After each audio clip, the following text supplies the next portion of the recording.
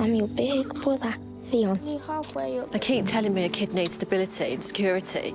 You and Jake won't be living together. Is it because he's white and I'm not? Why can't you follow the rules?